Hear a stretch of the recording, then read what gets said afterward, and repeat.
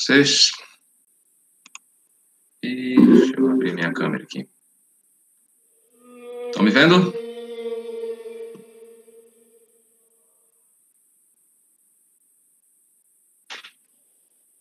Estão vendo a minha webcam aí? Então, né? Aqui no meu nem aparece essa nojenta aí, mas deixa eu ver.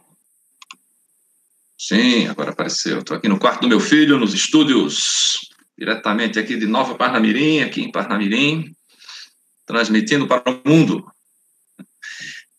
Gente, ó, então, é, vamos falando aqui no chat, tá? Pedir para vocês aí ficarem com o microfone desligado e com a câmera desligada também.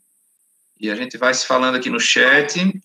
Aí quem quiser falar pode abrir o microfone, né? Pode me interromper, não tem problema pode abrir o microfone. Deixa eu explicar para vocês como vai ser aqui a nossa transmissão, tá? Essa aula está sendo gravada, porque depois a gente vai postar ela lá na, no Google Sala de Aula, né? Mas a frequência tem que ser aqui no tempo real, tá? Não posso fazer chamada de um momento síncrono de maneira assíncrona, tá? Então, aí no chat de vocês, vou botar de novo, no chat tem o formulário da frequência, tá? Cuide aí que você só pode responder uma vez, não vai responder para um amigo, não, porque ela também captura o, o e-mail, tá? O e-mail escolar de vocês. Gostei desse íconezinho aí da Tainara, ficou legal. Parece um. É o Chaves? Não sei o que é ali. Sim, vamos lá. Então, é, hoje, né, o que a gente vai estar tá fazendo? Vamos, vamos estar tá retomando no presencial, aqui em remoto, né, no, no síncrono, é um presencial, mas é um presencial à distância, né? E, e a gente vai revisar aqui os conteúdos das aulas assíncronas. A gente já postou seis conteúdos ali para vocês fazerem as tarefas e a gente vai estar revisando hoje aqui, reforçando, abrindo para perguntas também. Tá? Então vão aí respondendo a, a chamada, está aí no chat. Colocar de novo quem entrou agora, porque esse chat aqui só, só dá de ler a partir do momento que a gente entra. Tá? Então, estou vendo já aí a Cíntia, Anne, Eric, Vitória, Maria Júlia, Joyce. É, deixa eu ver quem mais está aqui. Eric, Ellen, Evelyn, estamos com 26 pessoas, um sucesso de audiência, Ricardo Machado. Gemily, João Lucas, Joyce, Carilene, Maria Júlia, Vitória Maciele, né? Vários aqui, 26. Beleza, ok.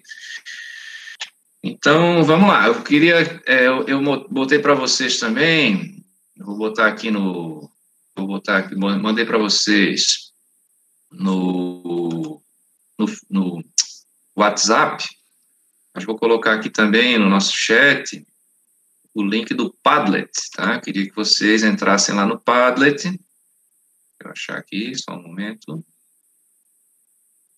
entrassem no Padlet para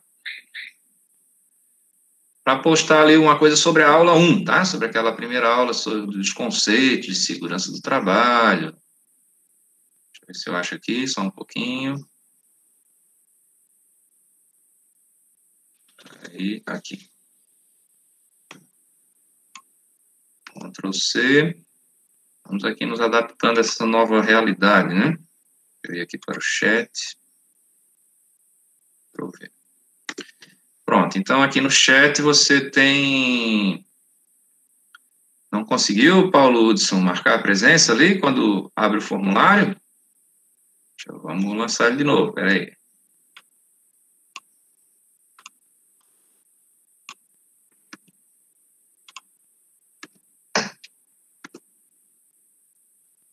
Pronto, vamos se animar aí que vai ser legal essa aula de hoje. Então tá aí o formulário de novo, Paulo, vê se tu consegue marcar ali a presença. Só clicar ali e digitar o teu nome completo. Certo? Não tem permissão. Ah, talvez você entrou... Espera aí que eu vou liberar, só um pouquinho. Você entrou com o e-mail pessoal, né? Espera aí que eu vou dar uma liberada lá. Só um momento. Vou clicar aqui lá no formulário, Drive... Não se apavorem, quem sabe faz ao vivo, vai dar certo. Então, a gente vai fazer em dois momentos, tá? A norma aqui do IF diz que eu tenho, quando a gente faz duas aulas, que é o nosso caso aqui, tem que ter um intervalo de 15 minutos. Então, a gente vai de 45 minutos, faz um intervalinho de 15 e depois volta, tá? Eu estou aqui com o cronômetro, a gente ainda tem 39 minutos para esse primeiro momento. É... E vamos revisar o, as aulas que tão, estão gravadas lá, tá? Deixa só eu achar aqui o nosso formulário. O S1, onde é que eu salvei o formulário? Está aqui em... Abrir aqui, só um momento. Segurança, segurança e saúde, química integrado, acho que está aqui dentro. Segurança trabalho. Frequência, finalmente estou chegando no formulário para desbloquear, viu, Paulo? Frequência do momento assíncrono do dia 8. Aqui. String, pronto. Aí, Paulo, tenta agora.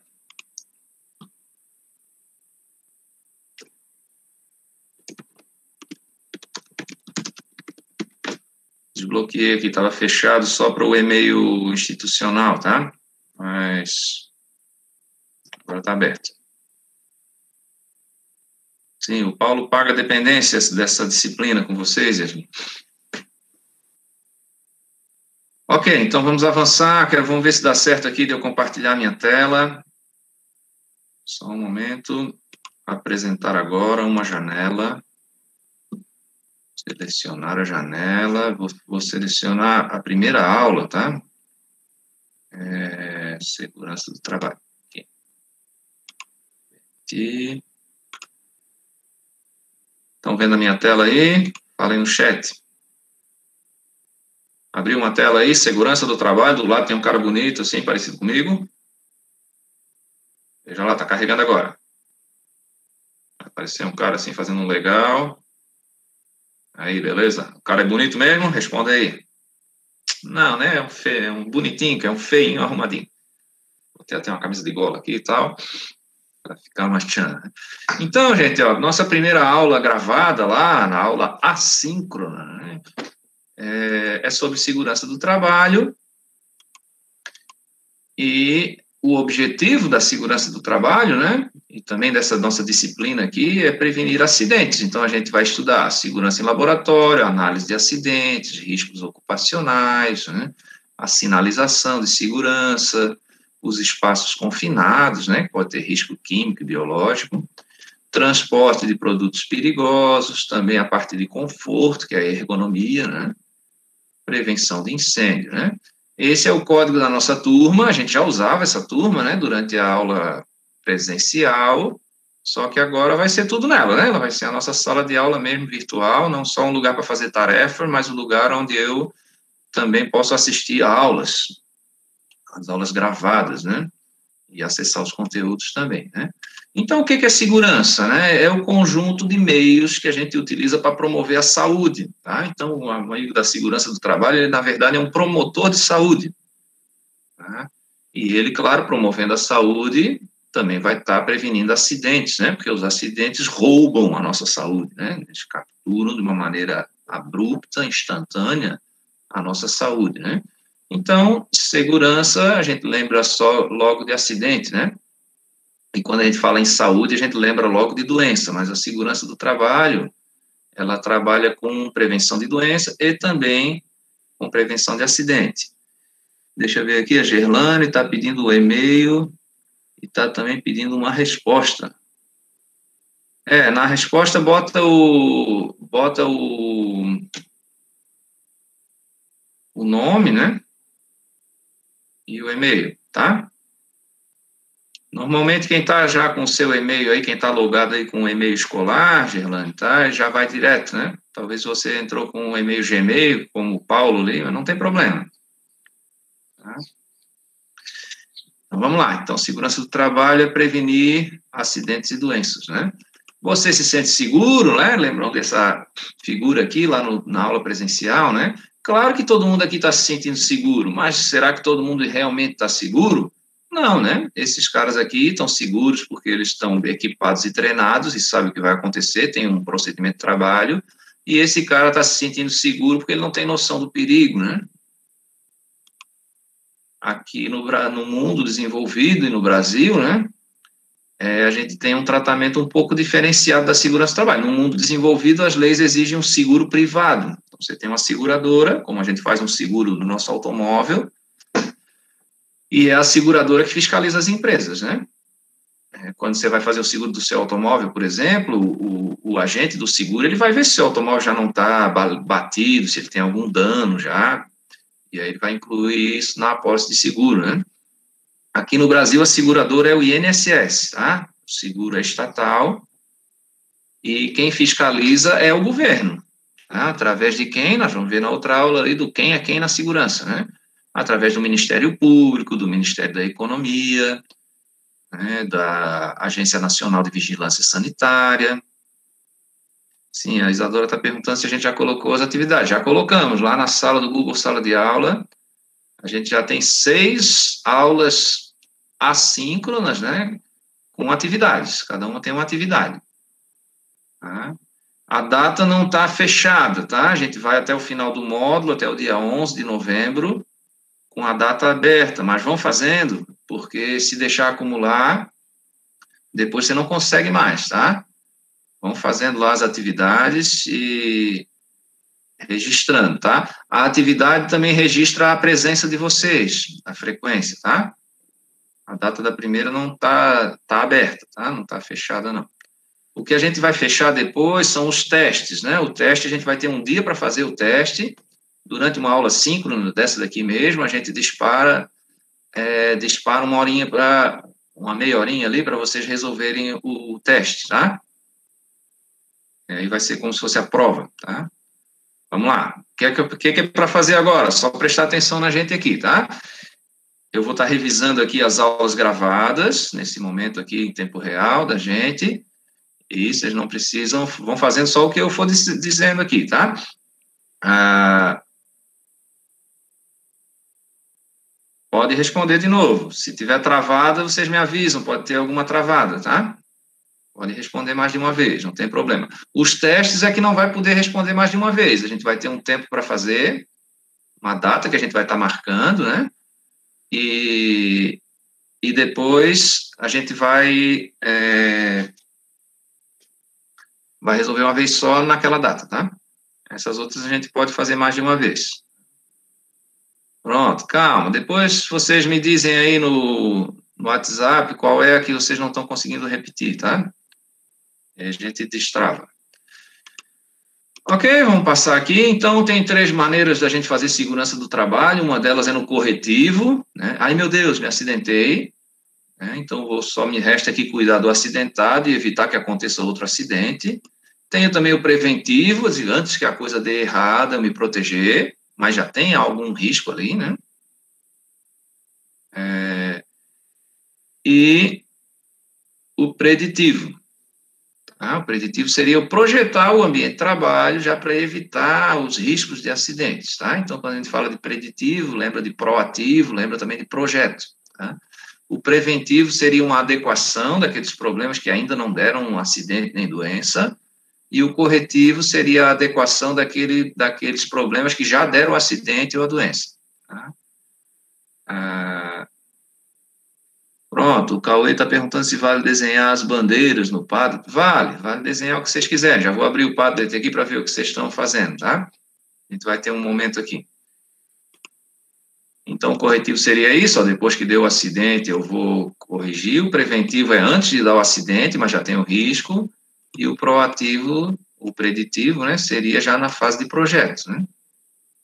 Antes de construir a coisa, antes de comprar a máquina, já está adequando. E, uh, deixa eu fechar esse slide aqui agora. Agora a gente vai para a higiene ocupacional. Um momento, peraí, deixa eu parar a apresentação. É, você está apresentando, parar a apresentação. Agora vamos para outra. Apresentaram a janela. Agora vamos falar da higiene ocupacional, que vai estudar o risco físico, químico e biológico. Né? Deixa eu achar ele aqui, só um momento. Higiene ocupacional do PowerPoint. Permitir. Apresentação de slide, configurar a apresentação, ok. Estão vendo aí a minha tela já?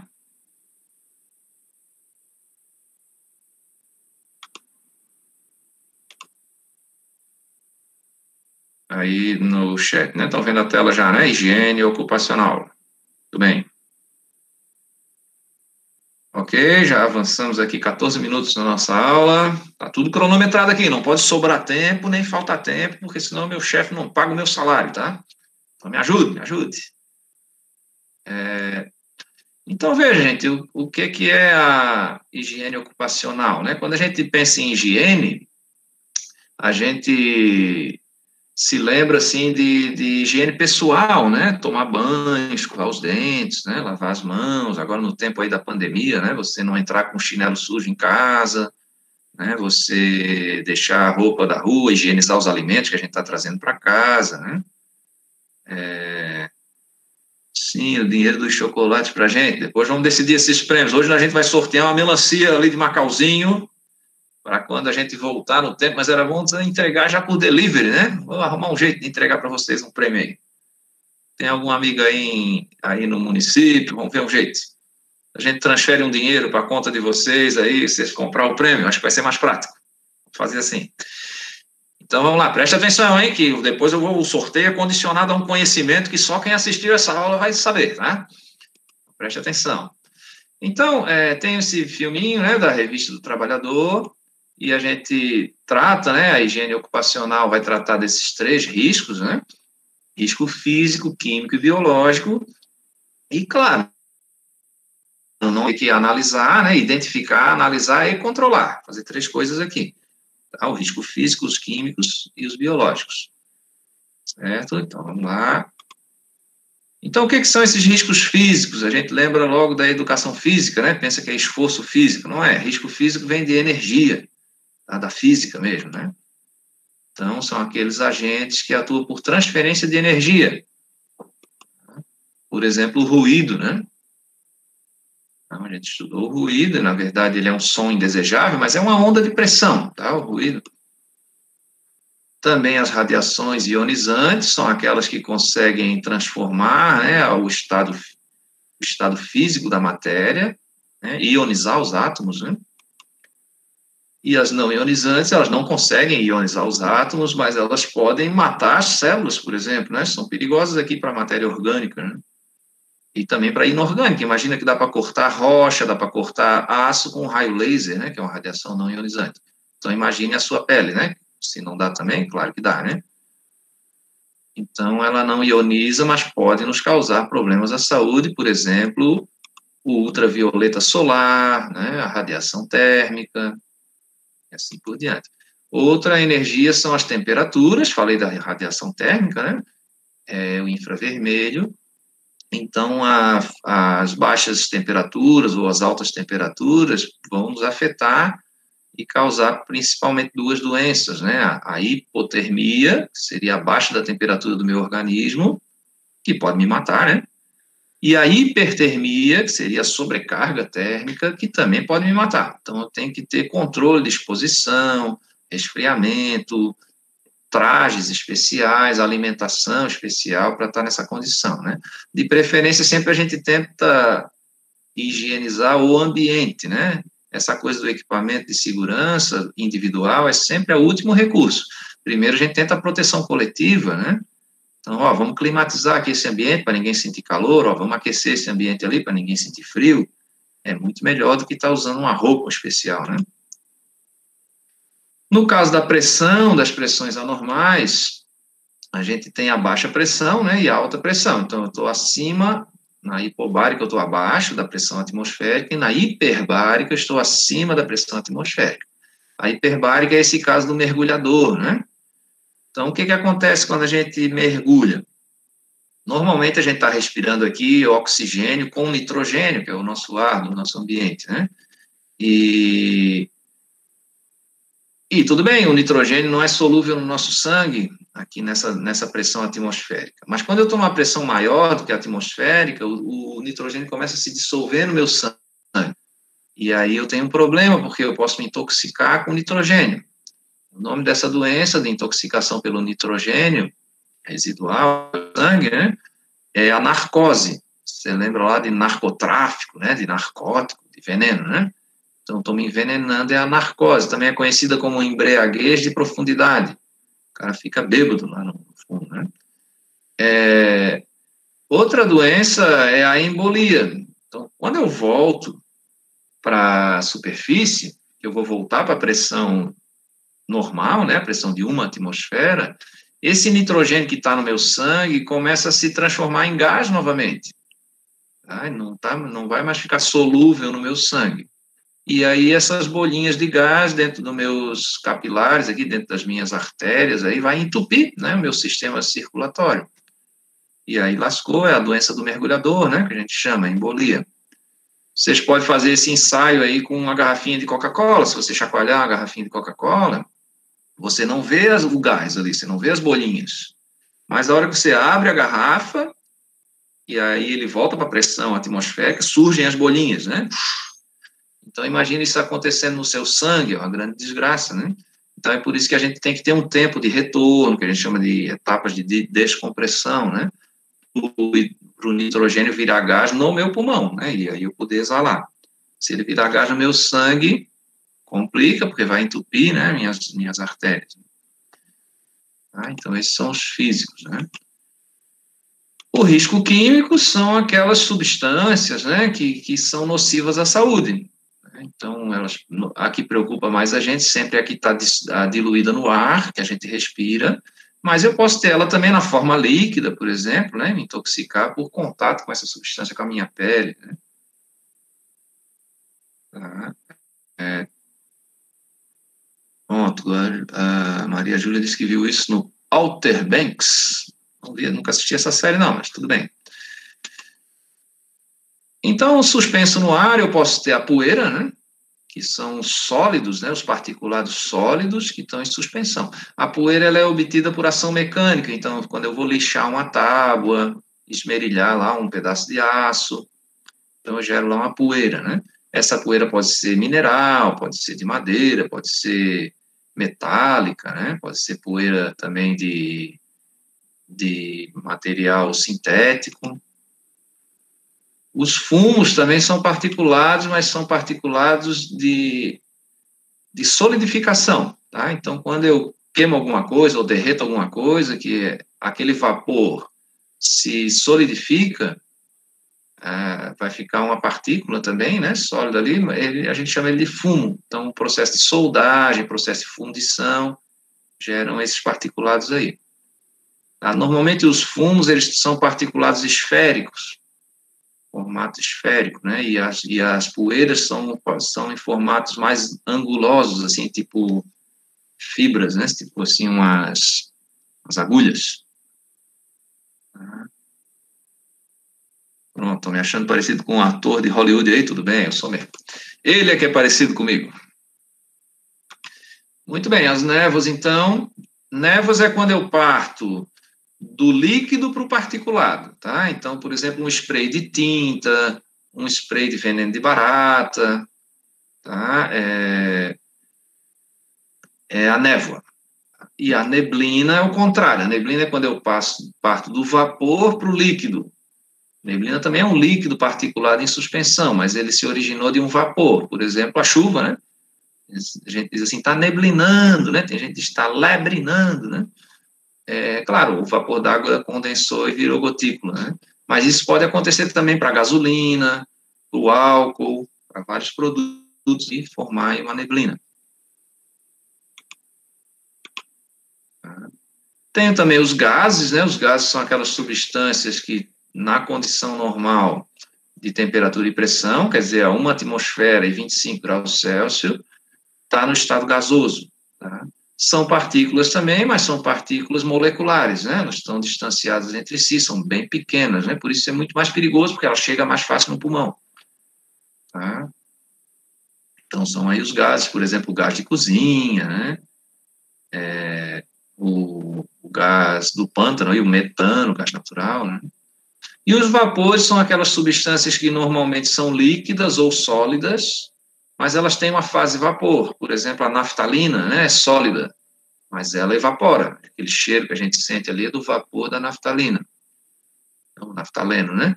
E o ácido sulfúrico, normalmente ele é líquido, mas ele emite vapor. Tá? Então, ele tem uma fase gás. Vapor de gasolina, vapor de álcool. E os riscos biológicos também são tratados aí na higiene ocupacional, a gente vai detalhar melhor, né? São aqueles micro-organismos indesejáveis. Naftalina só lembra a casa da minha avó, pronto, também me lembra aí, né? Normalmente casa de velho sempre tem aí umas, aquelas bolinhas, né? Também se me lembra também o banheiro do, de shopping, os caras jogam as naftalinas no banheiro ali no mictório, né? Quem é homem tem esse problema. Vai fazer xixi, tenta destruir as bolinhas de naftalina ali, sobe aquele fedor de xixi misturado com naftalina, né? É, não é legal, é só para disfarçar o cheiro, né? O objetivo ali. Ok, vamos agora para essa apresentação. Então, já estamos na segunda aula, né? Síncrona. Vamos parar a apresentação. É isso, um minuto. Aí coloquem aí no chat alguma dúvida aí sobre a higiene ocupacional. Se lembre que a gente ainda vai estudar melhor o ruído, vai estudar melhor o risco químico, né? Semana que vem a gente vai entrar no risco químico aí em detalhe, né? Pronto, Francisco Lázaro chegou agora. Ah, Lázaro, ó, deixa eu, vou colocar aqui a frequência, tá? Quem chegou agora, clica aí nesse formulário para assinar a lista de presença. Ah, a Joyce estava com saudade da minha aula, também estou com saudade de vocês, viu? Daqui a pouco a gente se vê aí pessoalmente aí, mas agora vai ter que ser assim no virtual. O pessoal estava duvidando se a gente ia conseguir interagir com vocês, manter vocês aí antenados com a disciplina, né? E tem esse medo, assim, né, do aluno não conseguir se manter ante, antenado, né? Mas dá certo, viu? Vou dizer para vocês que eu casei pela internet, a 5 mil quilômetros de distância, convenci uma mulher aqui de Natal, né, que eu era legal, e a gente se vendo no presencial só a cada três meses, deu certo, mesmo assim a gente casou, né? Não é para vocês querer casar comigo, não, mas assim, dá para a gente, pelo menos, ter uma relação aqui, né? Nesse nosso caso, não é uma relação afetiva, né? Uma relação de ensino-aprendizagem, mas não é ruim também, né? A gente gostar do que faz aí, né? E não me odeiem, por favor, eu sou um bom professor, né? É, esse professor é uma resenha, tá aqui no chat da Isadora, né? Muito bem, ou melhor, muito bem, eu sou mesmo, né? Pode um colega ver essa aula aqui, depois ficar me criticando. É, deixa eu ver a dúvida de quem está chorando, Amanda, não, não vi, repete aí, Amanda, que o chat andou muito rápido. Repete a dúvida aí, para de chorar. O gato engoliu a naftalina, é, repete, aí, repete a dúvida aí, Amanda, por favor. Tainara também estava com saudade, são uns babão mesmo, vocês estão com saudade de coisa nenhuma, estão querendo nota. Eu não caio nesses truques, eu fui treinado pelos pedagogos mais furiosos. Eu não entendi a diferença de gás e fumo, então vamos lá.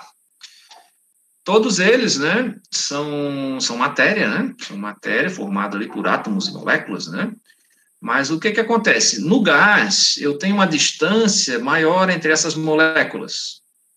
Tá? Então, quer dizer que também que essas partículas, essas moléculas, são muito pequenininhas. Tá? Então, é mais fácil de eu poder levar ela até o meu pulmão. Tá? No caso do fumo ou da poeira, eu vou ter uma distância bem coladinha uma na outra. Né? Eu vou ter partículas também, mas são partículas maiores. Pode ser um particulado fino, mas é bem maior do que as partículas do gás. Tá? É, pronto, tem alguém ali, cai nesse nível de tá, pronto, tá bom, eu sei que vocês não são babão, não, tudo bem, entendi. Ah, ok? Então a diferença é essa, né? Então eu posso, dá para eu, por exemplo, liquefazer um gás, transformar um gás num líquido? Dá, é só eu aumentar a pressão. A gente não chama o gás de cozinha de gás liquefeito de petróleo? Então, se você aumentar a pressão, ele fica gás. Se você pegar, por exemplo, um, um, um isqueiro, um isqueiro mesmo, quem tem algum parente aí que fuma, não faça isso, né? Porque a pessoa morre cedo, né? Mas dentro do isqueiro você chacoalha, você consegue ver ali líquido. Né? Então, como é possível isso? É porque tem uma pressão maior do que a atmosférica. Aí eu consigo fazer um gás. Tá?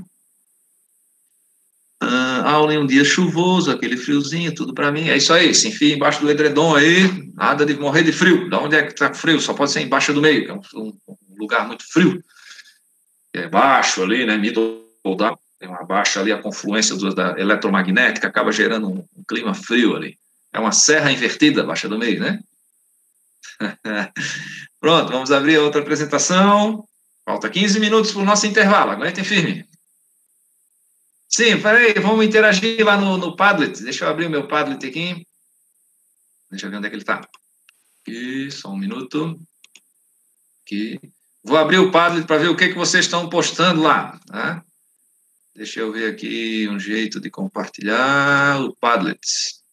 Quem não entrou ainda no Padlet, vou botar o link aqui na nossa no chat, tá?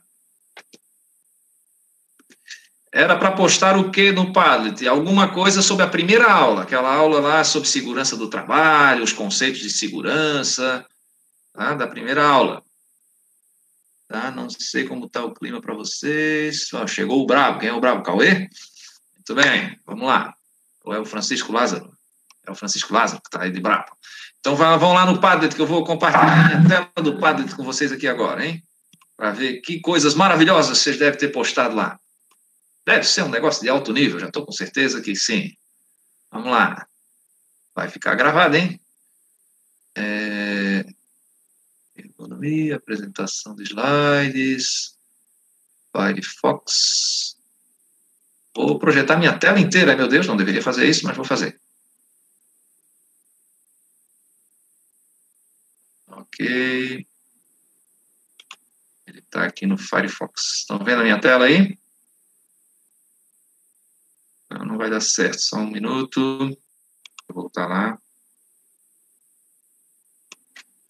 Espera aí, vou apresentar de novo só a, a tabelinha do Firefox ali, senão não dá certo. Apresentar uma janelinha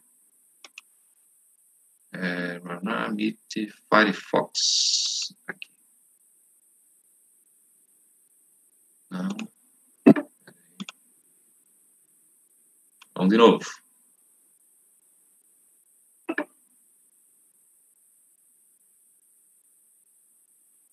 Ah, não é preciso, não é possível compartilhar a tela. Ah, que droga, peraí, vou compartilhar aqui.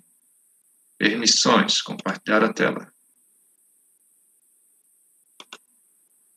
Vamos lá de novo.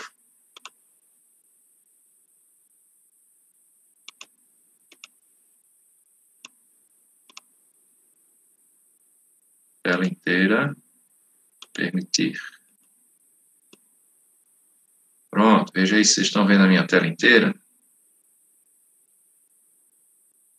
Vai aparecer aí só um pouquinho. Aí, agora sim, deixa eu botar no Firefox aqui. Estão vendo a minha tela? Deixa eu voltar lá no... Botem aí no chat, estão vendo a minha tela ali, a tela do computador do professor? Estão, né? Ok, vou botar lá no... No... Onde é que está, meu Deus? Só um minuto. Aqui. Então vamos lá, Maria do Carmo Regis só botou o seu nome. Carilene botou aqui um professor 100% seguro, tô aqui de colete de segurança. Professor Ciro me sacaneou aqui, ó. Cadê ele? Ó, e aí, chefe, o que temos? Padlet. Ciro todo dia me liga de manhã, ele pensa que eu sou o chefe dele. Aí diz: O que temos para hoje, professor? Meu chefe. Aqui o olho sangrando, ó, lágrimas de sangue na aula do professor Ricardo. É isso mesmo. Quem não estudar sofrerá as consequências. O Cauê botou ali o preditivo, preventivo, corretivo. Aqui o Lucas usa em máscara.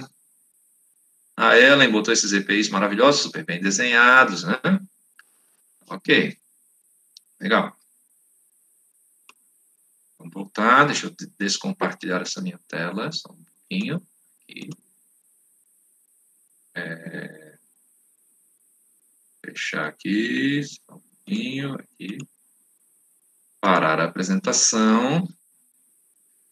Quem não sabe desenhar, né, não tem problema, você pode pegar uma imagem aí da internet, desenhar ali com o mouse também é chatinho ali, né? Pode desenhar também numa folha de papel e tirar uma foto.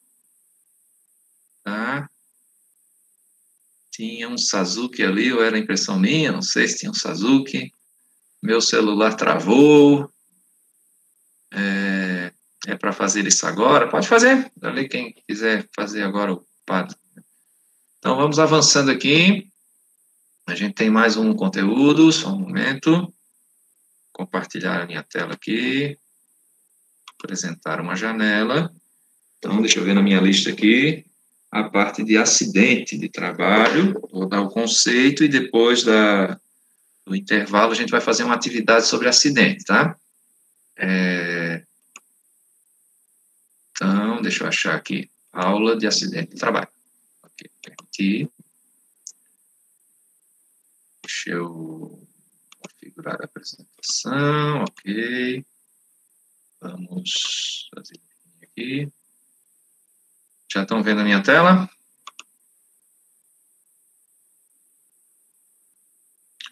Estão vendo aí? Maria Eduarda Ellen não dorme. Vou fingir que não sentiu um extremo sarcasmo. Eu li umas cinco vezes e não entendi, Cauê. Que história é essa? Tu leu o quê, mulher? Homem. Vamos lá. Estão vendo a tela aí? Sim, muito bem, sim.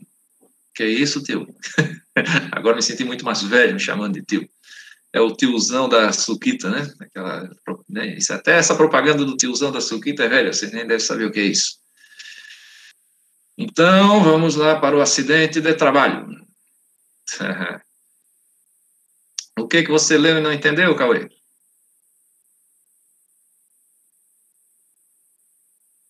O Padlet ali? Sim, do professor Ciro, ele colocou assim, ó. Vou botar aqui no chat. E aí, chefe?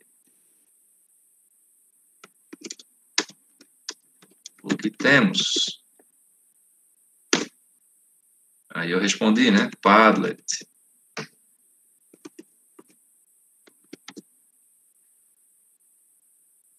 Ele me mandou, porque quase todo dia de manhã ele me liga, Ricardo, tem alguma reunião hoje? O que temos para hoje? Tem algum, algum conselho escolar? Homem, usa uma agenda aí, pô. Não, tu é meu chefe, eu não sou teu chefe coisa nenhuma. Sai dessa vida. Aí eu sempre empurro umas novidades para ele lá, e dessas ferramentas aí que a gente pode usar, né? Na aula que vem a gente vai usar aquela do podcast lá, vocês vão gravar um áudio de um minuto aí sobre algum tema da aula aí. Tá? E então, vamos aqui avançar para o acidente de trabalho. É, eu queria que vocês postassem ali também no, no Padlet, enquanto isso, né? Deixa eu colocar aqui. Vamos lá no Padlet de novo, agora, e coloquem ali o que, que vocês acharam ali da higiene ocupacional, é, e também aqui dessa parte de acidentes, né? Aqui que a gente vai começar agora, tá? O Wi-Fi está instável ali, beleza. Vamos aí, se for caindo, a gente vai assistindo. A aula está sendo gravada também, dá para a gente assistir depois com mais calma, tá? Deixa eu colocar o link de frequência de novo, de frequência de novo. Só um momento. É, enviar. Curto. Vou botar aqui no chat. Aqui. Quem não assinou a frequência, assine a lista de frequência. Eu vou fazer o sorteio da melancia ali pela, pela lista, hein? Assine aí o formulário, preencha esse formulário. Tá lá, o Wi-Fi tá ruim, né? Lá em Minas Gerais, o Wi-Fi diz que é Wi-Fi, né? Eles falam muito Wi lá. Eu vou sortear uma melancia original ali do, do de Macauzinho, quando, a gente, quando passa de Jeep ali, é, sempre eu vejo uma melancia ali, tenho sempre vontade de comprar, jogar dentro de uma caixa de isopor cheia de gelo e levar para a nossa aula. Aí eu não sei como é que eu vou entregar uma melancia, porque o delivery é muito caro, que é muito pesado, mas. Mas vamos ver. Então, sobre acidente de trabalho,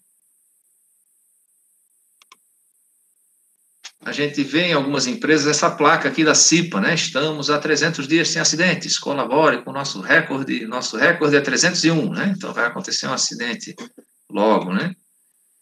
Quanto é que custa um acidente de trabalho, né? Quanto é que custa a pessoa perder ali um dedo, né? Um dedo numa máquina. Claro que o custo é bem maior para quem se acidentou, o custo humano, né? A dor, às vezes até a vergonha de ter se acidentado, né? É, custo com medicação, com tratamento, depois o custo da, dessa perda que eu tenho da capacidade de trabalho, que pode interferir também na minha vida, né, no meu ganho, na minha renda, né? Mas existem dois custos aqui do acidente de trabalho, o custo direto e o custo indireto. Tá? Esses custos diretos são esses relacionados é, com dinheiro mesmo, né? o tempo que a máquina parou, o tratamento, a indenização do acidentado, a fisioterapia, os custos que eu vou ter ali com remédio, com tratamento, né? É, com prótese, ah, o, o, que eu deixei de produzir porque esse setor parou por causa do acidente, né? Alguém pode processar a empresa por conta desse acidente. Então, isso a gente chama de custo direto. Tá? E o custo indireto são, é aquele custo que está relacionado com esses efeitos que é mais difícil de a gente converter em dinheiro, né?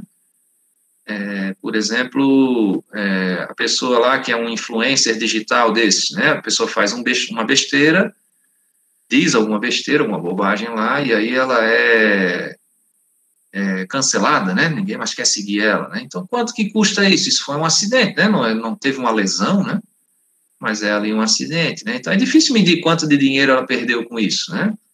Quando lá um jogador de futebol fala alguma coisa e perde um patrocinador, né? Por conta disso, ele consegue medir, ó, perdi tantos milhões de dólares, né? Mas aqui na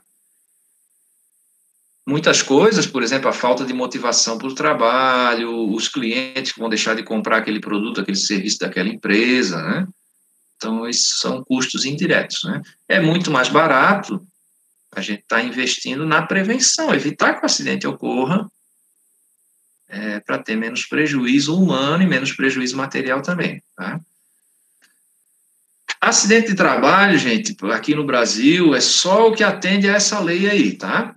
Então, por exemplo, você está lá, você é um influenciador digital aí de, aí de, de Macau, por exemplo, você tem aí um, uma conta no Twitter, você influencia as pessoas, tem aí um Instagram, né?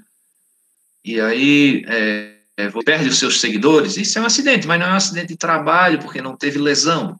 Tá? Então, o acidente de trabalho, ele é o definido por essa lei 8.213 aqui, tá? Ele diz o seguinte, acidente de trabalho é o que ocorre pelo exercício do trabalho a serviço da empresa, tá? ou pelo exercício do trabalho dos segurados referidos no inciso 7.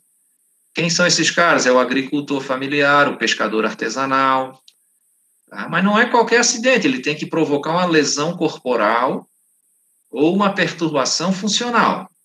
Então, o que, seria uma lesão corporal? Um corte, uma queimadura, uma fratura, uma luxação. Tá? É, e o que é uma perturbação funcional? É uma perturbação de alguns dos nossos sistemas funcionais. Por exemplo, aqui uma intoxicação, e eu vou perturbar o meu sistema respiratório, né? Um, um dano mental, por exemplo, um estresse, um ataque de fúria, né, um, uma depressão, então seria uma perturbação funcional. E não é qualquer lesão nem qualquer perturbação, ela tem que causar a morte ou a perda ou a redução da minha capacidade do trabalho.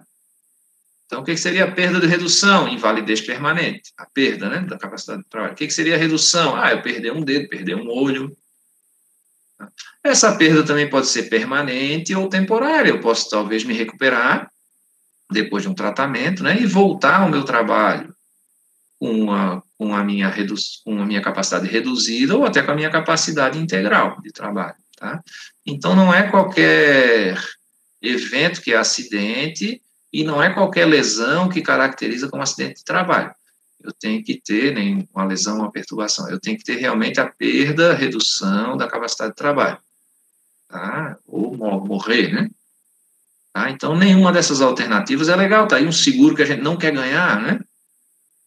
Tá? É, É igual um seguro, por exemplo, de saúde. A gente faz um plano de saúde, fica com raiva porque paga e não usa, mas na verdade a gente não quer usar né, o seguro de saúde porque ele não quer ficar doente, né?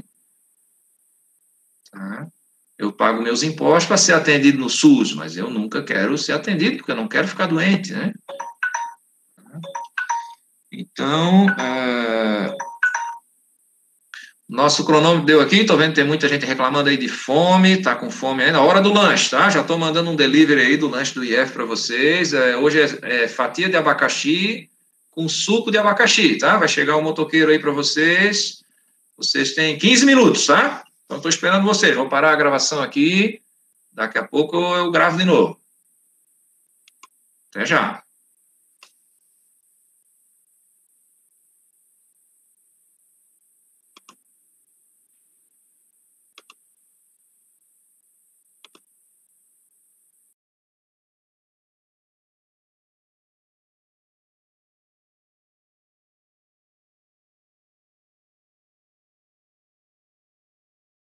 Então, em 3, 2, 1, depois desse intervalo maravilhoso de 15 minutos, que deu para fazer, dar um descanso, né, tomar uma aguinha, fazer o lanche. Chegou o delivery aí para vocês, eu mandei um drone entregar para vocês aí umas bolachas Maria com, com suco chegou não?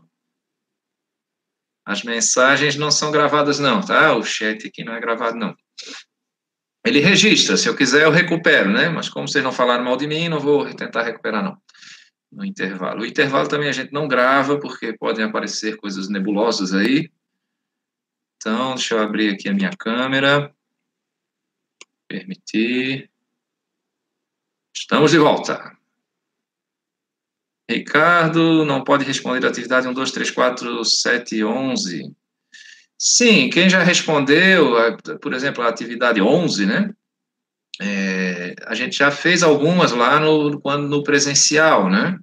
Mas como aqui a lei me exige fazer uma revisão, queria que vocês respondessem de novo, tá? E também, como eu tinha que fazer essa revisão e, e dar conteúdo novo, eu acabei mudando um pouco a, a ordem, né? A ordem da, dos conteúdos, tá? Então, tem a coisa que a gente começou, né? Pelo, e eu deixei mais para frente um pouquinho para misturar e juntar com outros conteúdos, tá?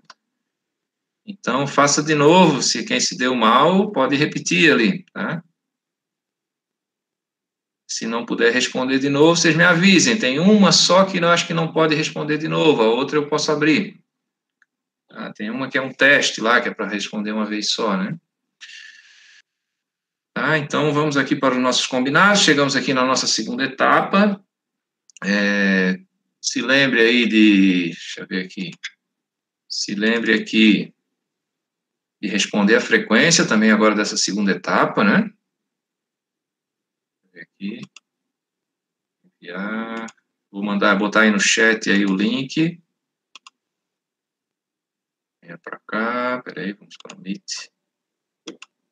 Tá aí o link da frequência, responda de novo agora para essa segunda etapa, né? Quem já ganhou presença na primeira aula, responda de novo agora, porque tem gente que desapareceu, aproveitou o intervalo para sumir, pegou a bike e desapareceu da minha aula, né?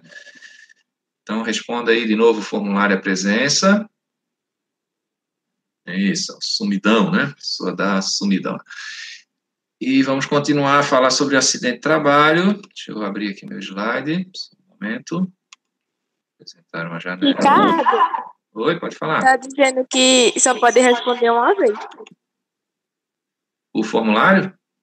Sim, não, ah, tá. Então, não, tá, entendi a presença, né? Tá, então quem já respondeu, beleza. Quem não respondeu, então responda aí. Vamos confiar que a pessoa não saiu. Estou vendo aqui no chat que vocês ainda estão aí, tá todo mundo vivo. Vou ficar até o final, porque vai ter o grande sorteio da melancia, né? Então vocês não vão querer perder. Quem não tiver na aula online não ganha, hein? Vou fazer o sorteio por quem está na minha tela aqui. E eu vou mandar abrir o microfone. Se a pessoa estiver dormindo, também não vai ganhar o prêmio. Vamos lá, vamos fazer um outro, um outro exercício aí. Cadê o meu acidente de trabalho aqui? Só um momento. Aula 2, acidente de trabalho. Pronto. Permitir. Veja aí, estão vendo a minha tela? Deixa eu diminuir a tela aqui para eu ver o chat. Ó, quem não tem microfone já tá dando golpe aí, o Saul. Não tem microfone. Hum. Tem gente que abre e vai dormir na rede, deixa ali aberto, né? Tá na reunião, só tá, eu não dou aula para espírito, eu quero corpo e alma. Eu quero a pessoa e, e, e não quero só assim, a, a presença do seu nome aqui, como se fosse uma lápide, nada disso.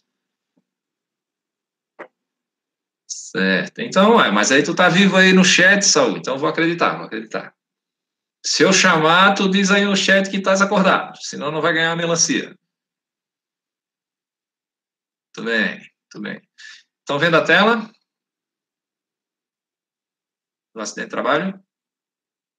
Sim, beleza. Então vamos avançar aqui. Então, tem esse filme aqui, a pessoa fica traumatizada, acho que tem algum de vocês está sonhando até hoje com a queda desse homem aqui da escada, né? Nós vamos fazer uma análise de um acidente semelhante a esse aí, tá? Agora aqui na nossa aula. Então, equivale ao acidente de trabalho à doença profissional, né, e a doença do trabalho. Qual é a diferença da doença profissional e do trabalho? É que existe uma, existe uma lista de doenças que são associadas a determinadas profissões. E a doença do trabalho você tem que caracterizar que tem algum risco naquele ambiente de trabalho lá que gerou aquela, aquela doença, tá? Mas eh, você tem direito ao seguro de acidente também, né? O acidente no local de trabalho sofrido em consequência de atos de agressão, de sabotagem, terrorismo, né? Ou ofensa física intencional. A doença proveniente de contaminação acidental, né? por exemplo, me contaminar com agulha, contaminada lá com o vírus da AIDS, né? me contaminar com o vírus, eu sou enfermeiro, me contamino com o vírus é, da Covid-19, aí o SARS-CoV-2 aí durante o procedimento de trabalho, né? E também esse acidente de trajeto ou em viagem a serviço da empresa, quando a gente vai a serviço fazer um curso fora, né? Visitar uma outra unidade da empresa, né? ou no trajeto do trabalho para casa ou da casa para o trabalho. Tá? Isso tem que ser no horário compatível com a necessidade do meu deslocamento, né? com a minha necessidade de deslocamento também. Que benefícios eu tenho, então? Que prêmios o seguro me dá? O seguro vai me dar o auxílio doença, né? Enquanto eu tô, quando eu me acidento, eu não ganho auxílio acidente, eu ganho primeiro auxílio doença. Se eu retornar para o trabalho depois, já sem nenhuma sequela, eu perco esse benefício. Se eu retornar com uma sequela, por exemplo, perdi o dedo, né? Aí é convertido o auxílio doença em auxílio acidente. Esse auxílio acidente vai ficar, eu vou ficar ganhando ele do INSS até me aposentar ou até me recuperar, né, se for o caso de, de poder restabelecer a minha saúde, né? Se eu morrer, não ganho nada, mas a, a minha companheira aqui vai ganhar a pensão por morte. E se eu não prestar para mais nenhum trabalho, não tiver mais capacidade para nenhum outro trabalho, aposentadoria por invalidez.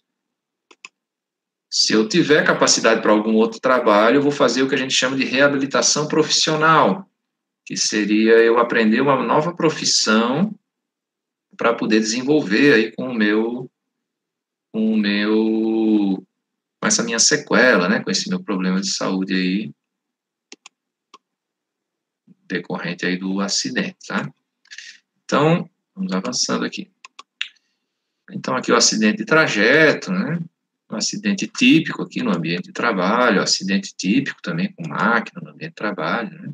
E aí é feita a comunicação do acidente de trabalho, e é um profissional da segurança do trabalho, ou a CIPA, também a Comissão Interna de Prevenção de Acidentes, né, do trabalho, vai fazer a análise do acidente, vai tentar descobrir por que, que aquele acidente aconteceu, para evitar um outro acidente. O objetivo aqui não é achar aqui um culpado, não, né, é mais achar as causas, né, e aqui o formulário da, da acidente, a parte do corpo atingida, né, o setor do cara, o nome, o cargo, o local onde aconteceu esse acidente, que nem sempre é no, no setor de trabalho dele, pode ter sido um acidente de trajeto, né?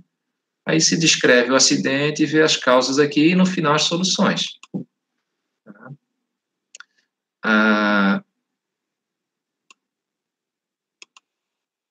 pronto. É, Para prevenir acidente de trabalho, a gente usa questões técnicas né, e também o cumprimento da legislação, a legislação trabalhista, a legislação previdenciária e também as normas locais. Aí lá na aula, não sei se vocês se lembram, né, foi muito tempo atrás, no tempo ainda que a gente podia se ver presencialmente, antes do apocalipse zumbi aí, né, é o desse acidente da piscina, que o funcionário desce a escada, né? E aí a tira da chinela arrebenta e ele cai e quebra o braço, né? E aí pedi para vocês ver as causas desse acidente, se lembram disso? Escrevam no chat aí quem se lembra. Lorena está com sono, acorda aí. Se lembra desse acidente aqui? Eu acho até que foi a Lorena que saiu com a solução ali, né? Que todo mundo diz, não, tem que usar sapato. É, não, aí alguém deu a solução, é melhor o cara não descer essa escada, né? E realmente aí, nesse caso, era essa solução, você fazer o trabalho lá em cima, né? Em vez de ter que estar tá subindo e descendo a escada com um balde de água, né? Para tratar a piscina, né? Eu quero agora, é, com vocês, vou, vou, falar um acidente aqui. Tome nota aí, pegue o seu caderno agora. Que eu vou abrir a minha tela aqui para eu ficar maior aqui. Muito bem. Minha câmera está ligada, está ligada. E pega uma caneta aí um, um papel aí. Caneta e um papel. O caderno de vocês deve estar todo necrosado, cheio de fungos tóxicos lá no, no fundo do baú com as naftalinas. Pega lá.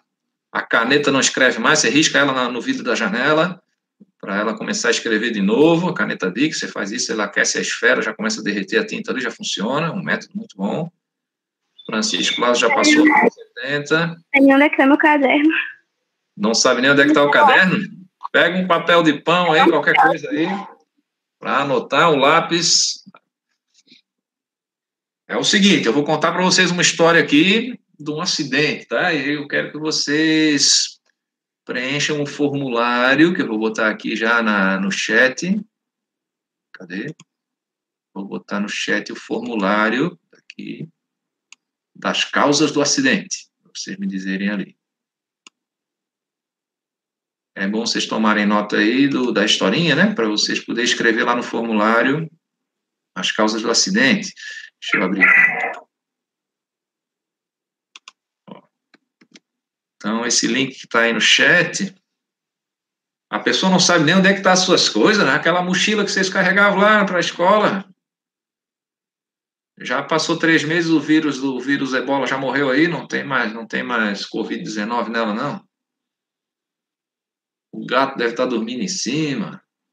Quando abrir, vai sair umas traças de dentro ali e tudo. Aí nesse formulário aí que está na coisa, vocês vão botar as causas do acidente, tá? Mas deixa eu contar a historinha primeiro, não preencho ele ainda, que vocês nem sabem que acidente é esse, né? Ó, tirou para usar na viagem, para ir para casa da avó, né? Recupera aí os cadernos aí de vocês. Pelo amor de Deus. Não achou? Pelo amor de Deus. Anota aí no bloco de notas do celular, então. Quando eu vou falando aí, você vai digitando aí no, no bloco de notas. Mais moderno. Papel é coisa de velho, coisa do passado. Posso contar a historinha?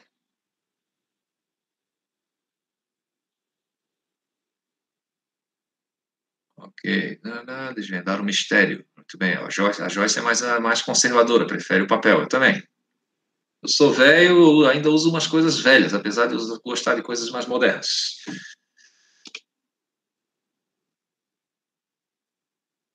Fico vendo uns jovens ali, alguns professores ali, ai, eu não tenho habilidade com informática. Meu filho, que século tu tá? Ah, tu não és a geração millennium?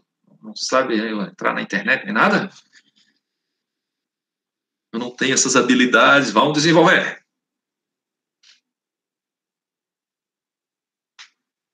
Para você é fácil, para mim é fácil o quê? Eu sou mais velho, para mim é que é difícil.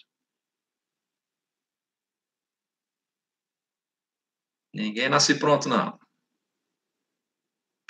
Então vamos lá, vou contar a história então. Prepare o seu coração para as coisas que eu vou contar. É o seguinte: neste dia, o funcionário né, da manutenção dessa empresa, ele foi designado lá para fazer uma tarefa. Ele tinha que fazer um furo no teto para botar um parafuso parafusar lá um suporte para pendurar uma placa. A empresa é um supermercado. Tem que fazer um furo, botar um gancho lá para pendurar uma placa de promoção. Tá? Então, ele se dirigiu até lá o almoxarifado de ferramentas, pegou lá uma furadeira, pegou a bucha, pegou o parafuso e pegou uma extensão também, extensão de 10 metros para poder ligar a furadeira, uma tomada, tá? E uma escada. Então, se deslocou até o local, armou a escada, essas escadas de armar, né? Ligou a furadeira, colocou a broca, subiu na furadeira começou a fazer o furo. Teto, assim, o cara tá com a furadeira aqui fazendo furo no teto, começou a cair. Então, vou falar um pouco mais devagar. Então, ele está fazendo o furo no teto com a furadeira. Dá de ver a minha mão aqui, assim. Assim. Está fazendo furo no teto. E, e começa a cair no olho dele a poeirinha lá do, do furo. Ele está fazendo um furo ali no teto de alvenaria, né? E aí, nesse momento, ele, com, esse, com essa fuligem, com essas partículas que estão caindo no olho dele ali, ele se desequilibrou, a escada balançou e aí ele inclinou a furadeira durante o furo. Quando ele inclina a furadeira, a broca quebrou. Né? Porque se a broca está girando, você inclina, ela quebra. Tá? E aí voou a fagulha. Só um pouquinho, já vou contar a história de novo. Mas aí ele voou, voou um pedaço da broca no olho do funcionário. Isso fez com que ele caísse da escada. Tá? Então ele teve duas lesões aí, uma lesão no braço, porque ele caiu no chão apoiando o braço. Felizmente para ele não era uma altura tão grande, né? É... Isso aqui não é a mão do Bolsonaro, não, é uma furadeira de impacto, tá? É a mão de Jesus, a mão do professor Vladieri, assim, ó. Jesus desceu do céu para nos salvar. É... E lesionou o braço e o olho, tá? Ok? Vou contar a história de novo. Funcionário vai até o almoxarifado, ele tem a tarefa de fazer um furo no teto para botar um parafuso. No almoxarifado, né, que é o local onde eu vou pegar as ferramentas, os materiais da empresa. Não precisa escrever, vai, tenta escrever essa historinha aí no teu caderno. Tá? E aí é, ele foi até o local com uma escada, armou a escada, subiu na escada, ligou a furadeira na extensão, botou a broca, quando ele estava fazendo o furo no teto, por ele estar tá sem óculos, começou a cair é, poeira no olho dele, né? A poeira do furo. E aí isso fez ele se desequilibrar, aí ele acabou em cleira e quebrou a broca. Quando a gente inclina uma furadeira, a gente tem que tomar muito cuidado quando está fazendo um furo para não inclinar a furadeira, porque quebra a broca, né? E aí voou um pedaço da broca no olho dele, isso fez com que ele perdesse o equilíbrio e caísse da escada, tá? Então ele teve duas lesões, quebrou o braço, porque apoiou o braço na queda, e furou o olho com a broca. Certo? Quer um resuminho no, no chat? Vou digitar no chat aqui. Tá meio ruim que eu tô com o teclado do computador. Então vamos lá. Não, tem o um resumo lá no formulário. Quando você abrir o formulário, tem um resumo, tá? Abra lá o formulário, está aqui, ó. Na descrição do formulário tem o resumo, certo? Aí responda lá quais são as causas, o que, que vocês acham que deu errado aí, por que, que esse acidente aconteceu. Com certeza não é só uma causa, né? Diga lá o que, vocês acham que causou esse, esse. Enquanto isso, quando vocês vão respondendo, eu vou botar ele aqui na tela, tá? Deixa eu abrir ele aqui. É, já tem uma resposta lá, quem que respondeu? Deixa eu ver. Foi muito rápido. Douglas respondeu? Deixa eu ver se a resposta. Quando é rápido assim, ou é 10 ou é 0, né? Vamos ver. Pronto, tá, tá aí. Temos uma. Temos aqui uma. Uma ideia, né? Já tem uma, uma causa, né? Douglas já achou, beleza. Tá certo essa causa dele, mas tem outras, não é uma causa só. Falta de EPI também é uma causa, mas não é a única causa. Falta de preparo. Que preparo? Preparo do trabalho ou treinamento do funcionário? Cauê respondeu aí. Vou compartilhar essa tela com vocês para vocês verem ali dos colegas, tá? Vamos aqui. É apresentar agora nela. Adicionar uma janela. Deixa eu achar aqui.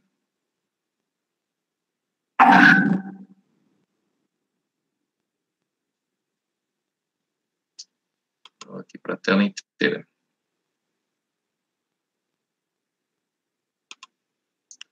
Permitir, vamos ver se vai dar certo.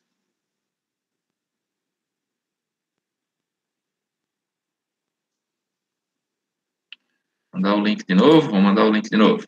Pronto. Esse link aí do formulário, tá? Estão vendo a minha tela aí já? Deixa eu achar aqui. Consegue ver a tela do meu computador? Está meio misturado aqui, mas eu vou abrir já a tela das respostas. Ótimo. Vou abrir aqui a telinha da, das respostas do, do Fire aqui, ó.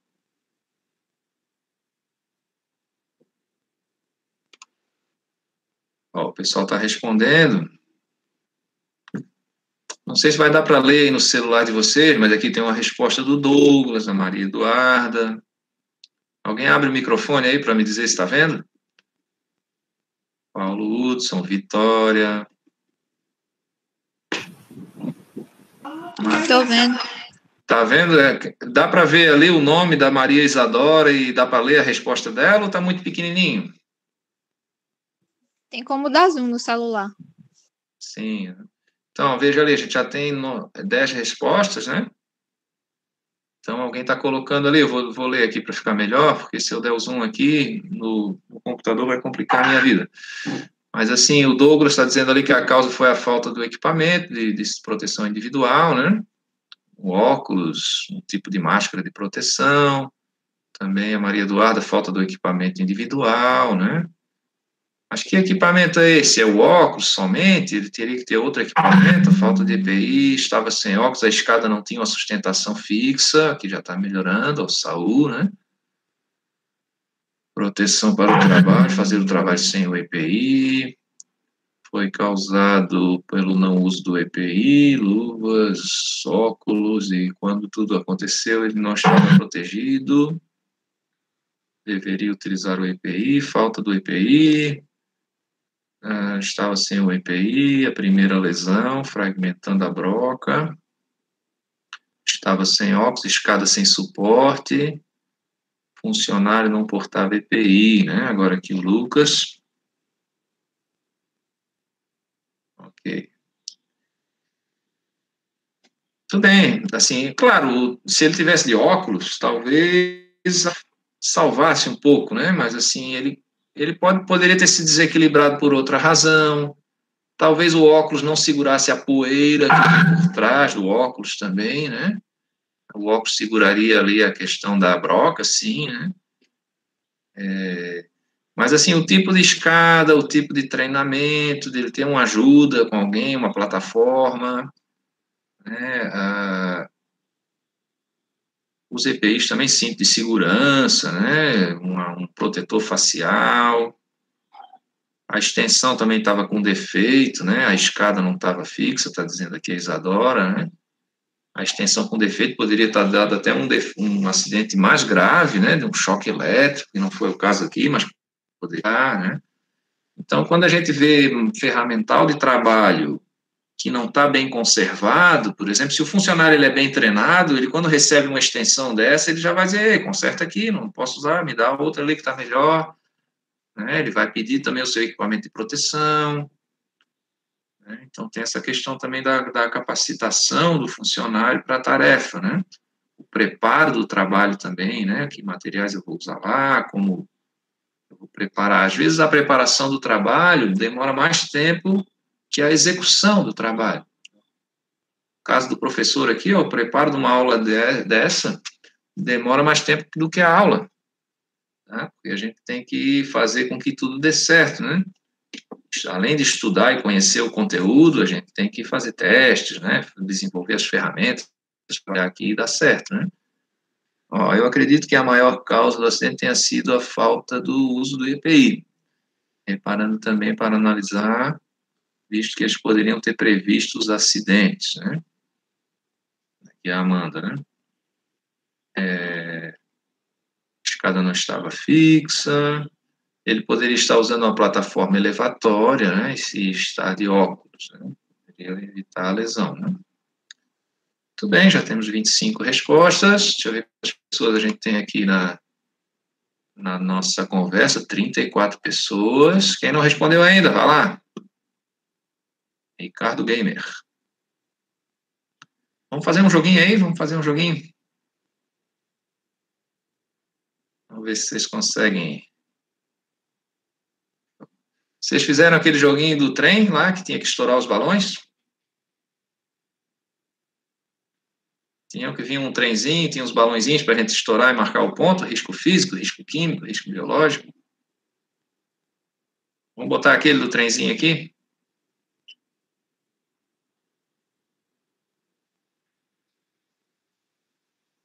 Peraí, vou botar aqui o, o trenzinho. Mas então, do, sobre o acidente, deixa eu encerrar aqui esse assunto do acidente, né?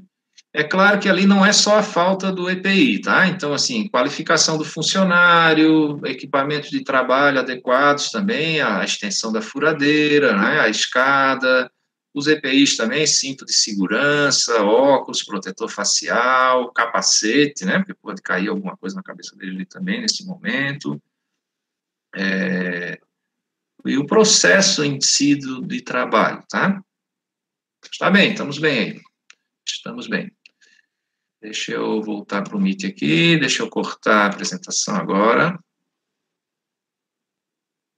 É, deixa eu só voltar aqui para aquela apresentação.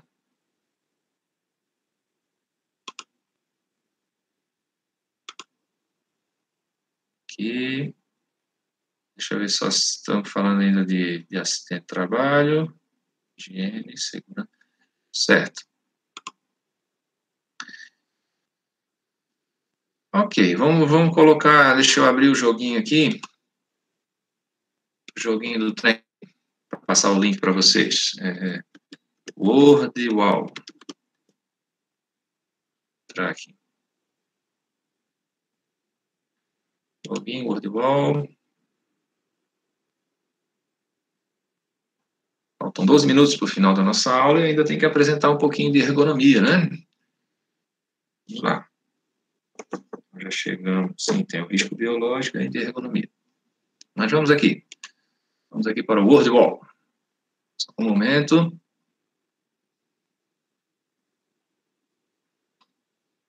Aqui.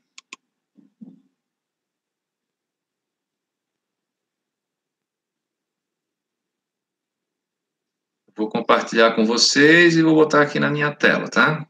Então, deixa eu ver onde é que está aqui. Deixa eu ver onde é que compartilha isso. Peraí, só um momento. Create atividade.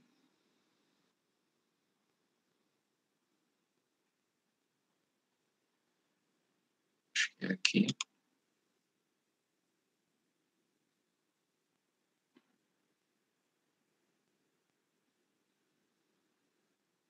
Só um momento que eu estou procurando o link aqui de compartilhamento do jogo. Aqui.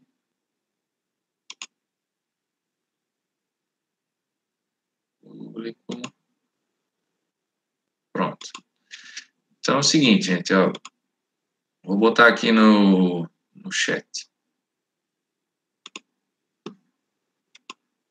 Deixa eu ver o que, que rolou ali. Passei a raiva do joguinho da atividade. Então, clique aí no joguinho para vocês separarem ali o que é risco físico, biológico, aí no trenzinho. Vou abrir aqui na minha tela. É, para jogar com vocês também, tá? Vocês jogam aí, não vai jogar um contra o outro, mas vou botar aqui na tela inteira. Vai lá, vê se vocês conseguem estourar os balãozinhos ali enquanto o trem anda. Isso, agora aqui, frequência, para o wall. Pronto, então o joguinho é esse, né? Vocês vão ter que estourar o balãozinho do risco físico, químico, biológico para cair dentro do trenzinho, tá? Ó, por exemplo, essas engrenagens é um risco mecânico. Vamos ver, é o ruído é um risco mecânico. Ó. ó. Aí, engrenagem. Então, o risco mecânico é o risco de acidente, né? Ó, já fiz 64 pontos. Vai complicando aqui, que agora vai vir dois vagões. Né? Assédio moral. Será que é um risco de acidente?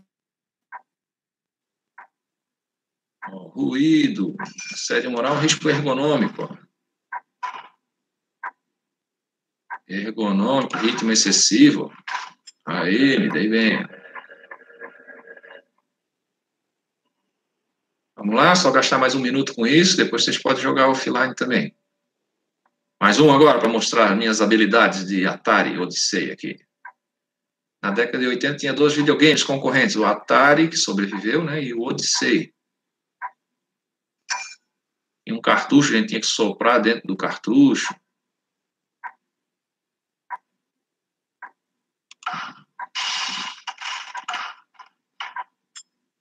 É, não, é um risco. Ó, oh, nem é dinheiro. Aí. Biológico, é a zika. Oh, droga. Aí, veja a habilidade desse homem. Risco físico, calor. Aí, beleza. Muito bem, já mostrei minhas habilidades. Agora vou parar o compartilhamento. Aí.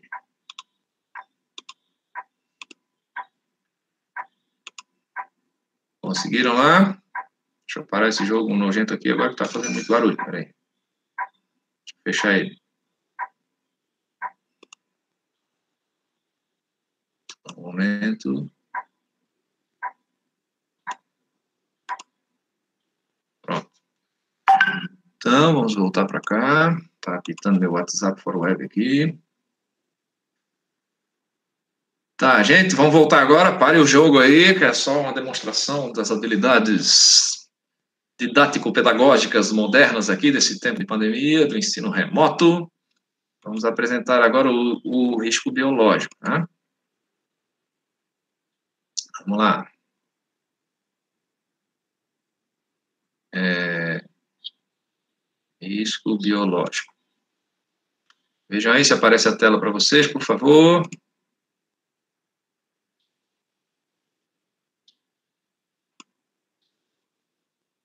Só um momento.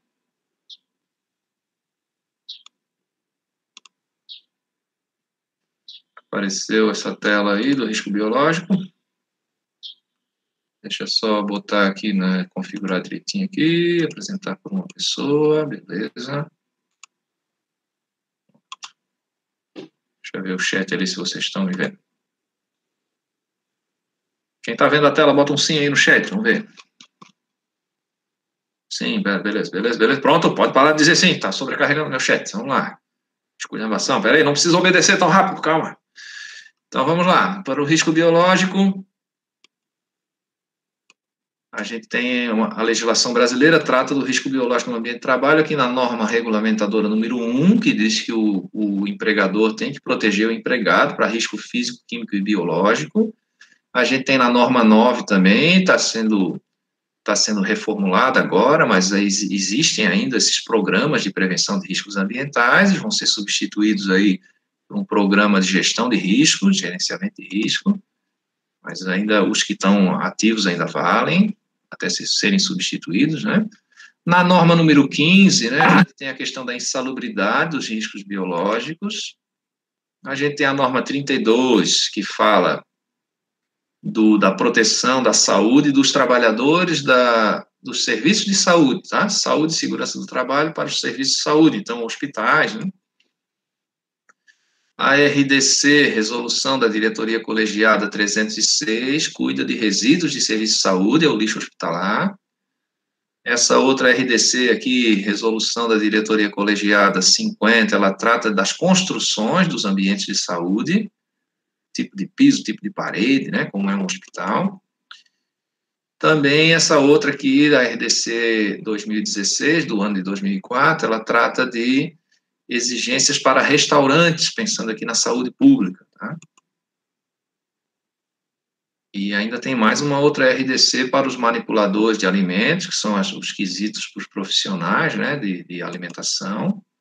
E, finalmente, a lei de biossegurança brasileira, que ela não trata nada de segurança do trabalhador, tá? Ela trata mais da segurança mesmo contra a disseminação, né? Então, ela fala do, do transgênico, fala da clonagem humana, ela fala também é, é, das células tronco, né? Então, ela regulamenta isso aí no Brasil, a gente chama ela de Lei de Biossegurança, Lei 11.105, 2005. Ah, então, é importante algumas definições aqui, o que é um patógeno, né? O patógeno é o microorganismo que gera doença, antigamente a gente chamava de germe, né? Se fosse microscópio, a gente dizia que era um micróbio, aí se fizesse mal para a saúde, era um germe. E aí a gente tem também o hospedeiro. O hospedeiro é aquela, aquele ser vivo que consegue conviver com, a, com o patógeno tempo suficiente para propagar a doença. Além do hospedeiro, tem também o reservatório, que é um ser inanimado, pode ser um cadáver, pode ser um esgoto, né? onde eu vou estar é, armazenando uma lixeira, onde eu vou estar armazenando o patógeno. Tá? Então, o hospedeiro sempre é um ser vivo, o reservatório não.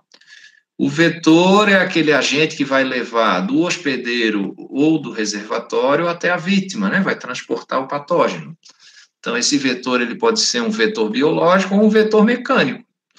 Por exemplo, a formiga, apesar de ser um ser vivo, ela é um vetor mecânico.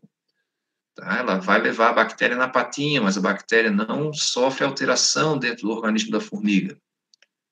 Tá? Então, a gente chama isso de vetor mecânico, como uma agulha, uma maçaneta, um corrimão, né, que está ali contaminado, uma máscara contaminada, né?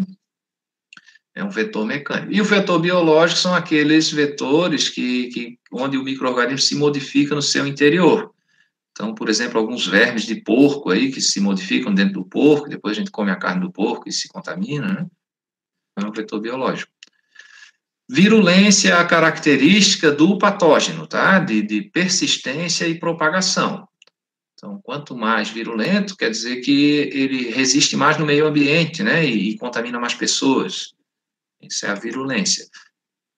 E a viremia é a quantidade do vírus no sangue do infectado. Tá? Claro que a gente tem que controlar para essa viremia ser baixa, né? De preferência ser zero para evitar as consequências aí da pessoa. O caso aí da Covid-19, né, tem tentado os tratamentos aí para diminuir a quantidade de vírus que tem dentro da pessoa, né? Ainda não se conseguiu matar esse vírus, né?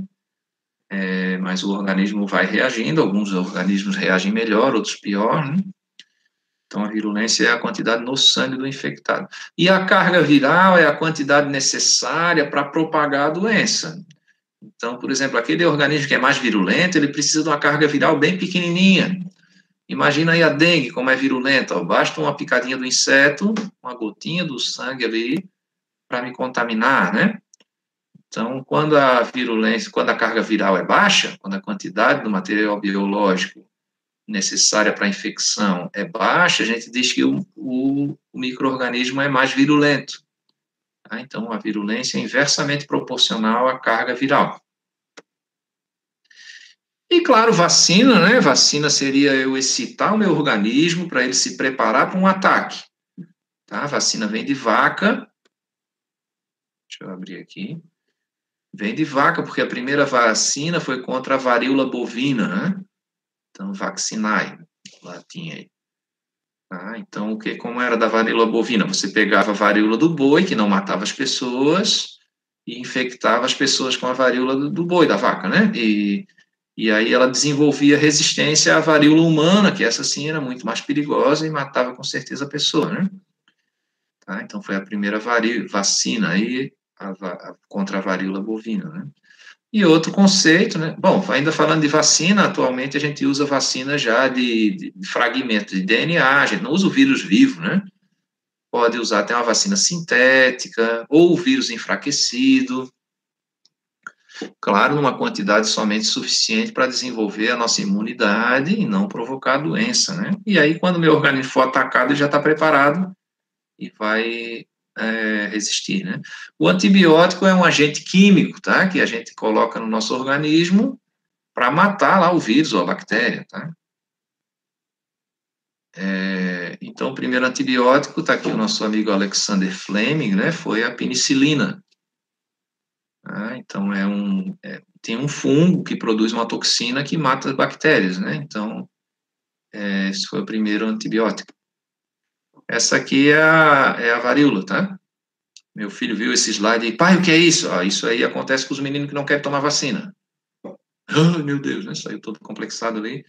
Então, a varíola, né? Que agonia, né? Meu filho já perdeu até o medo de injeção quando viu essa, essa foto aí. Então, dos patógenos, a gente tem vários, né? Fungos, vírus, bactérias, protozoários, parasitas, né? Os príons e também as toxinas produzidas por agentes biológicos. E, por último, aqui as culturas de células. Eu posso ter uma célula cancerígena, né? Eu posso cultivar ela numa placa lá para fazer o exame e ela também é considerada como risco biológico. Aqui tem alguns exemplos, de fungo, né? Esse é o vírus da AIDS, ó, HIV, vírus da hepatite C, vírus ebola. Vocês assistirem o filme, aí é legal, vocês têm na internet aí o filme Epidemia.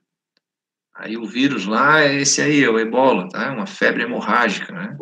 Aqui também o Lassa e o Crimeia do Congo também são vírus de febre hemorrágica. A pessoa começa a sangrar pelos poros. Né?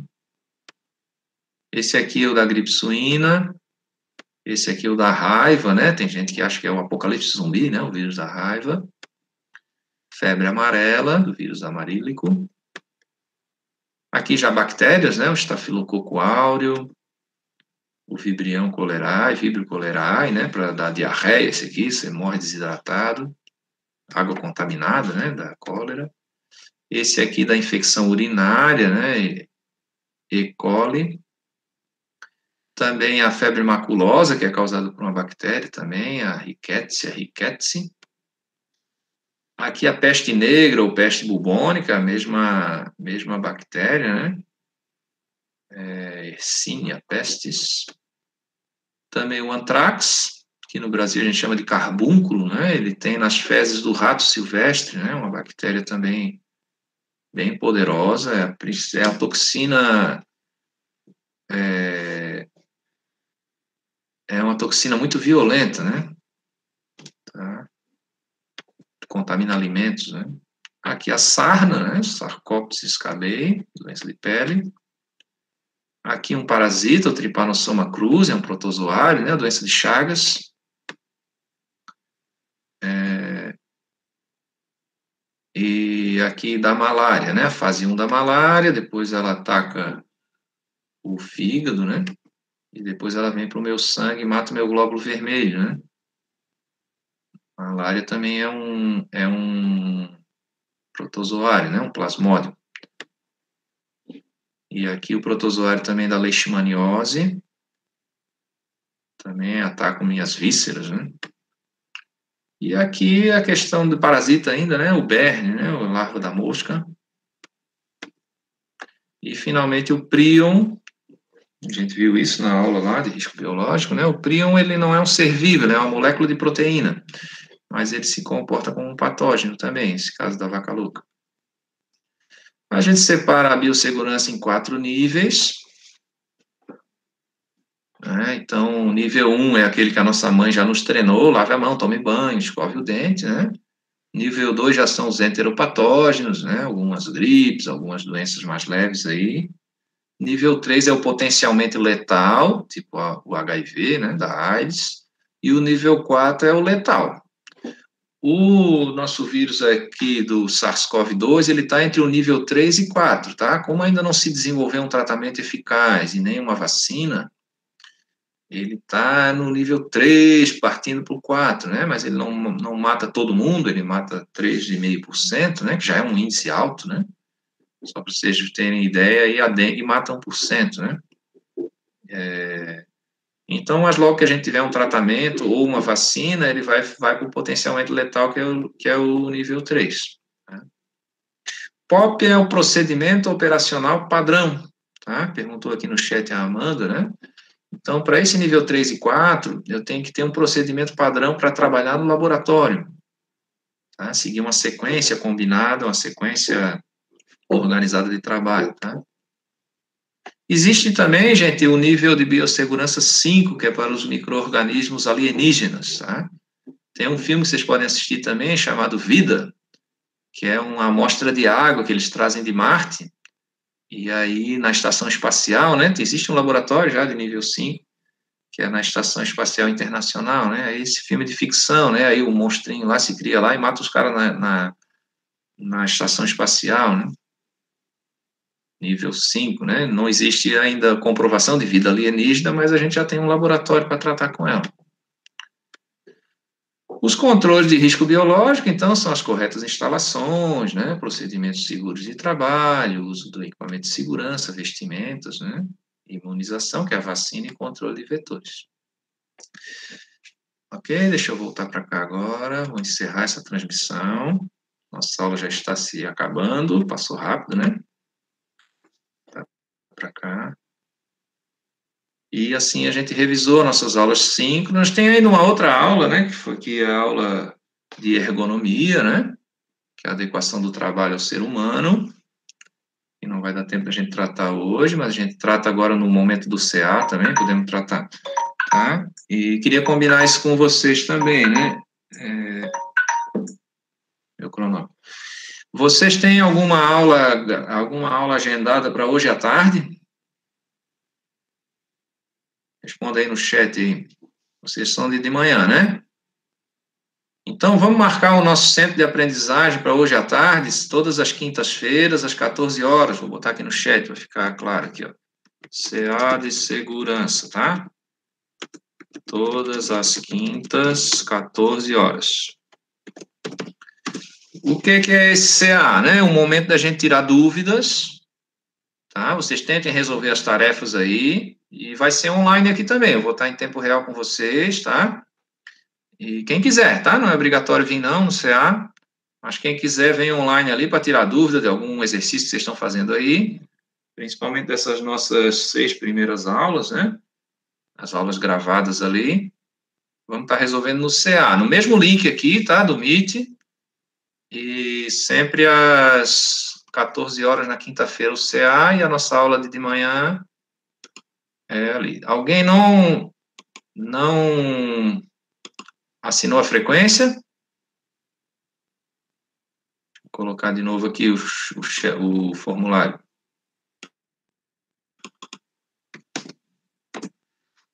Tá, tá aí o formulário de frequência. Muito obrigado, então. Vou encerrar aqui a gravação.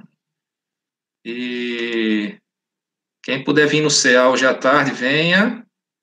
E se não, vão fazendo as tarefas que eu vou começar a postar de novo. E a aula que vem, quinta-feira, a gente tem outra síncrona, tá? Obrigado, atenção. Vou cortar a gravação agora. Muito obrigado.